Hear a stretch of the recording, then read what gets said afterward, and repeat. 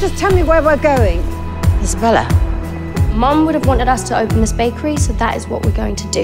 You can definitely see its potential. What? There's a crack in. I've come from a family where baking was always at the core of the family, so I wanted to translate that onto the screen because I think it brings people together in a beautiful way. Eliza loves cakes. I love cakes, I have to say. The first time we met was Yeah. bonding over cakes. I'm here about the baking job. It's a rose macaron filled with rose petal and lychee crémeux and fresh raspberries. Working together is a total joy because we've known each other over the years.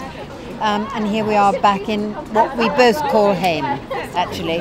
And we Um, met in this city, in yes, Glasgow. we did, we did. Can I say the, the year? Was it 70, 71? 70? Yeah, well, Absolutely no idea. Who cares? We don't mind. She was, Um, she was a toddler at yeah, the time. yeah. A toddler. There are four other bakers. What makes you so special? Why don't you try one? Tell me. Good luck. So we basically we were lucky enough to be supported by Ottolenghi, um, who sponsored most of the cakes, but also we had to go and do some research across London to get some international bakes from all over the place. And we had on-set bakers who would create some magical pieces for us, so it was a mix of things. I wish I could put some input into an answer to this, but I'm vegan, so it was, it was a little bit of a struggle on set. This city is home to people from all over the place. We make our bakery something to remind them of home. Glasgow's a big cake city. City bakeries, I grew up with them. You know, We had branches, five branches in one block sometimes of city bakeries.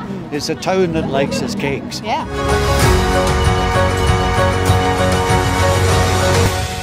Love, Sarah. Would you like to come in for a coffee? I might be up all night. Lucky me.